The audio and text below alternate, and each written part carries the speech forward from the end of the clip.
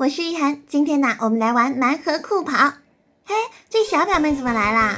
什么？我怎么来了？盲盒酷跑也不叫我，表姐你还是人吗？呜，呃，好吧，这可是两滴血盲盒酷跑啊！开出怎样的酷跑，我这心里可没数啊！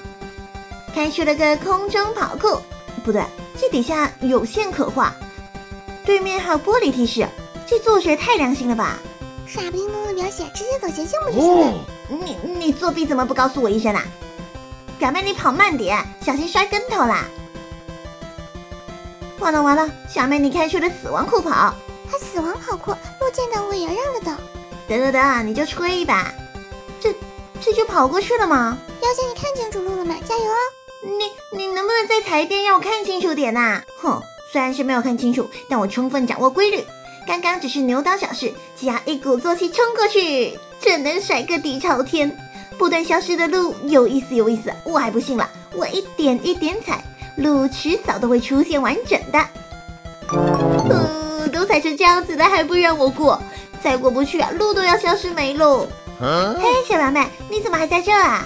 表姐，你这什么盲盒酷跑，上上下下的，摔得我脑瓜疼。这不是电梯吗？只要顺着传送方块走，一定。好吧，行不通，实在太难了。表姐找的破地图一点都不好玩！哎，表妹啊，你别遇到难度就轻言放弃呀！完了，挂机了。这个电梯酷跑，只要踩在中间，一动不动不就上来了吗？原来小表妹是被气跑路了。哎呀，这凭运气跑过的，迟早会凭实力还回去的。心跳水立方，这底下哪有水啊？明明是岩浆。不生气，不生气，终点在下面，只要我冲过去，按向开关。怎么会在半空中狗带的？这作者明明是想玩死我！这里一圈一圈的，哦，我懂了，顺着圈圈一格一格的往下蹦，只有两滴生命，不能够蹦远了。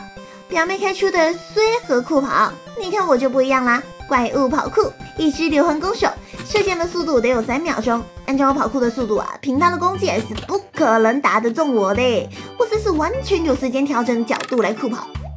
乔木跑酷。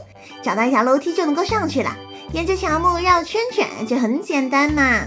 希望开出来的盲盒还能够顺畅。这是方块酷跑，也太……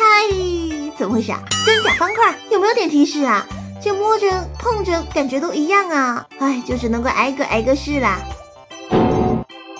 在我的一番苦练中，终于找到了正确的道路，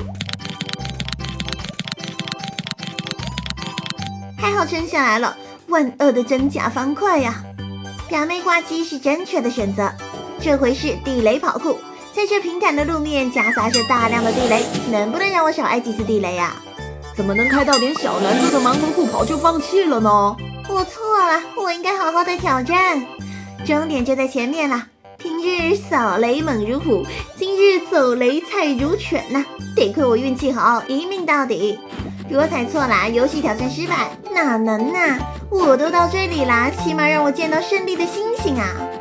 姐姐，你该感谢这云团消失的速度比沙子慢得多。感谢个头！这盲盒酷跑是人跑的吗？眼前就是最后一道关卡了，只要一路传过去，根本就不可能的嘛！这酷跑是要气死我哟！碰到地面狗带，碰到方块狗带，这这让我怎么玩啊？冷静冷静，我冷静不了了。算了，还是继续尝试吧。先过第一道坎，一路过去，典型的挨打行为。